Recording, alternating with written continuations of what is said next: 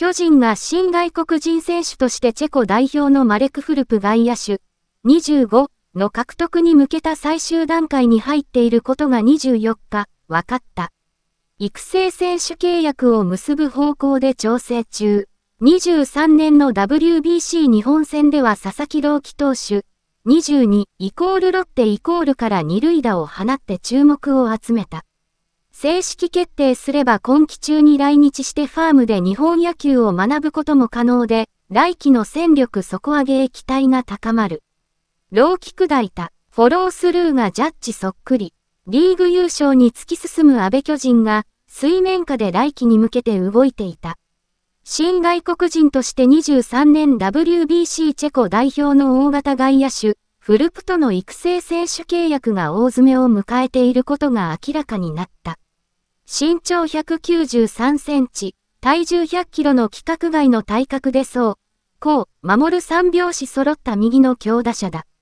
15年に大阪で行われた U18W 杯にチェコ代表として参加。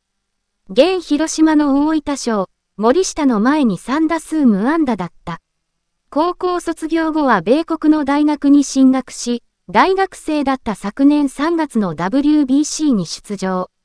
日本戦、東京 D で佐々木の163キロを左翼戦二塁打として話題になった。その後は米独立リーグのレークカントリードッグハウンズでプレー。今季は80試合で打率2割5分2厘、7本塁打、43打点、23盗塁を記録した。開幕前の3月には侍ジャパンの強化試合の相手、欧州代表の一員として来日。工夫颯との練習試合、京セラ D、デサ中間に特大スリーランを放ちヨーロッパに優れた野球があることを示したいと、日本球界挑戦への夢を語っていた。恵まれた体格、アグレッシブなプレースタイルで、チェコのジャッジ、とも称される。巨人は素質と伸びしろに注目して調査を進めてきた。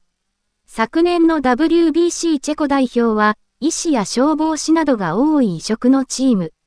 懸命に野球に取り組み、相手をリスペクトする姿も話題になった。同代表ミランプロコップ内野手が今年 BC、神奈川と契約するなど日本との交流が深まる中、フルプの巨人入団が決まれば、極めて異例で歴史的な挑戦になる。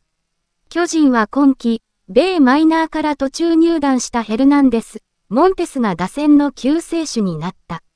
無限の可能性を秘めるフルプがジャパニーズドリームをつかめるか。来季に向けてさらなる活性化が期待される。